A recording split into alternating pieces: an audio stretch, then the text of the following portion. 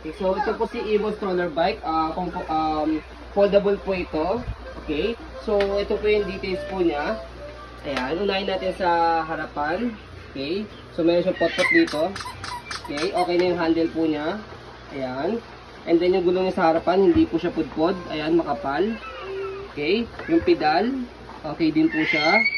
And then, as you can see, meron ditong ano, ah, description. Ayan.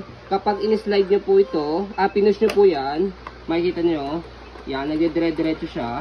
And then, pag in-stop ko po yung pedal, magdidire-diretso pa rin yung gulong. Okay, pero pagka in-slide ko po ito, ayan, yung gulong sa yung pedal, sabay po siya. Ayan, Stop po. Yan. sabay po siya, hindi po siya nag-slide. Okay, nandito naman po yan sa description po. Okay, so meron din po siyang footrest dito, tapakan ng ah, paa. Okay, yan, walang issue, wala rin issue po yung upuan po niya. Okay, so yung front handle, ito, meron pa siya. So pagka toddler pa lang si baby, hindi niya pa kaya ah, mag-stroller bike mag-isa, pwedeng ilagay po yan. Pagka naman po malaki na si baby, ah, marunong na siya mag-bike pag-isa, ditanggal siya.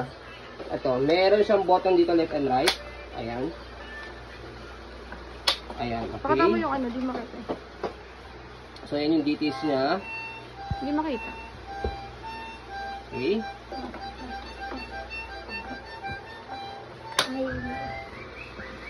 So, ditaas din yan kapag lalagay niya si baby. Okay? So, yung likod niya, yung gulong, walang problema, makapal. Ayan. Okay. Pati sa kabila.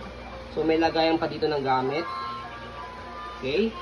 So, yung handle niya, ayan. Foldable po itong handle niya. May button dito. Press niyo po itong button. Pag i-fold po yan. Okay. So, kapag ka malaki na si baby, pag marunong na siya mag-bike mag-isa, ayan, ditanggal po ito. Itong handle na to ditanggal siya. Okay? So, bike na mismo talaga siya, hindi na siya stroller bike. Okay? So, kapag naman po, uh, i-fold po siya, o stroll muna natin, wala itong issue, ayan.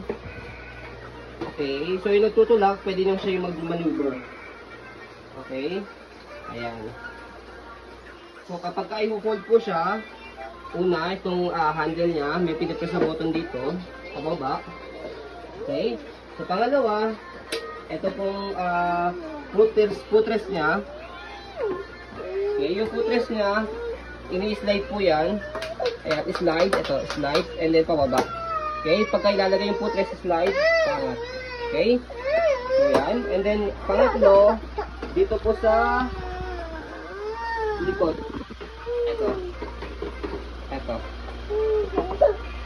Ikot nyo po yan, tapos fold nyo po pa ganyan. Okay. So, yan. Ganyan po siya kapag naka-fold. Ito, iangat nyo po ito pag i-fold nyo pa ganyan. Okay? So, kapag i-open po ninyo, same procedure, vice versa lang.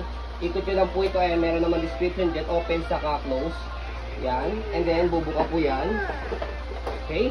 Pangalawa, ito pong handle. And then, pangatlo, kung gagamitin nyo po yung footrest, ito, sa ilalim. Ayan. Slide nyo lang po ito. And then, angat. So, yun. Ganun lang po siya kadali. Walang issue po ito. Okay, ang original price ito is 14,000. Pero selling low. Ang missing lang po nito is, meron siyang canopy dito. O meron siyang umbrella. Okay, pero ito po sa amin wala po siya.